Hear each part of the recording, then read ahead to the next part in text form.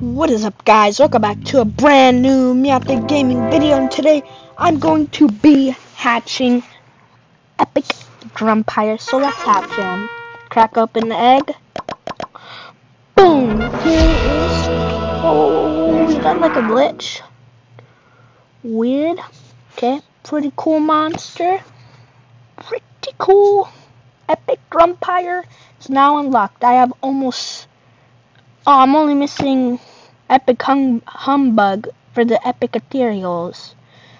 Let's place him down right here. Okay. I know the Epics have animations, new animations, so let's see if he's got any.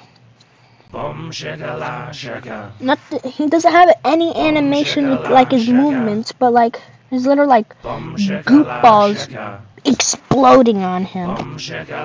Okay. Feed him.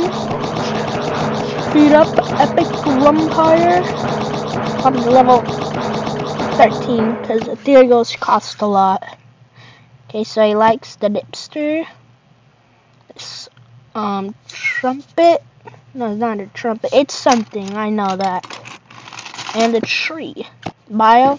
There are two things that an epic Grumpyre dislikes more than waking up early, bright lights, and garlic bread. Unlike its common and rare counterparts, its body is not covered by a protective suit-like shroud. The feature it lacks are horns, leaving it unsure of where it's where it should grab life. It's grumpin time. It's grumpin time. It's a reference to Morbius's famous line. It's Morbin time as it enjoys a late night stack of its own. Okay, so I guess those little holes popping are the blisters and it regrows fast. Pretty cool monster. Now, is he in the game anymore? No.